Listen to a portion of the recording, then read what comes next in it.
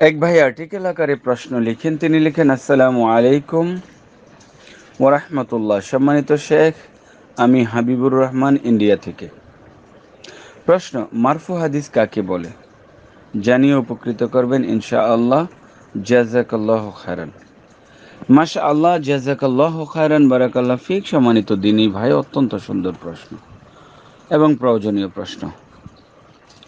আলজাবিল্লাহ তৌফিক, আলহামদুলিল্লাহ ওয়াহদা, ওয়াসসালাতু ওয়াসসালামু আলা মান লা নাবিয়্যা বা'দা ওবাদ সম্মানিত প্রাণপ্রিয় ভাই ও হাদিসের কতিপয় পরিভাষা যদি আমরা জানি, এই পরিভাষাগুলো আমাদের যারা দায়ী আছে দায়ী ইলাল্লাহ, তাদের জন্য অত্যন্ত জরুরি।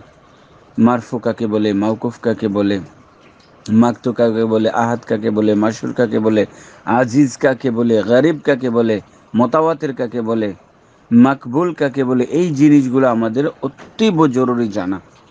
যদি কোনো ব্যক্তি তাহকিক বা তাখরিজ করতে চায় অথবা কোনো হাদিস নিয়ে কথা বলতে চায়, গবেষণা করতে চায়, সেগুলো না জানলে কোনো আলেমের দিনের দাওয়াত দিতে ব্যাঘাত ঘটবে। আর যারা পড়াশোনা করেছে, তারা অবশ্যই জানে।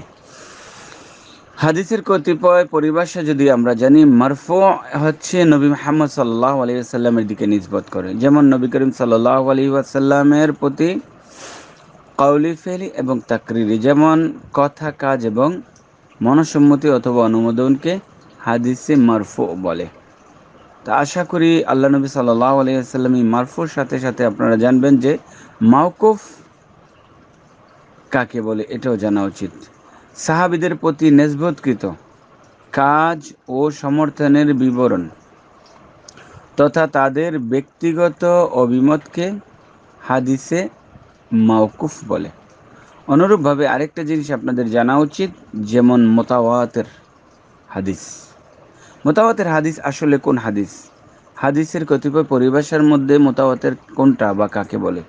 যে হাদিসের বর্ণনাকারী সকল স্তরে এত বেশি হয় যে তাদের সকলের পক্ষে মিথ্যা হাদিস রচনা অসম্ভব, কখনো করতে পারবে না। অসম্ভব মনে হয়। এরূপ হাদিসকে মোতাবাতের হাদিস বলা হয়। আশা করি এই কয়েকটা যে আমরা হাদিসের কতিপয় পরিভাষা জানলাম, এই সংক্ষিপ্ত পরিচয় মোটামুটিভাবে আমরা এইগুলা থেকে ইনশাআল্লাহ বুঝতে পারলাম যে হাদিসের পরিভাষা কী। আল্লাহ রবুল আলমিন ভালো জানেন মাশা আল্লাহ জাজাকাল্লাহ খায়রান।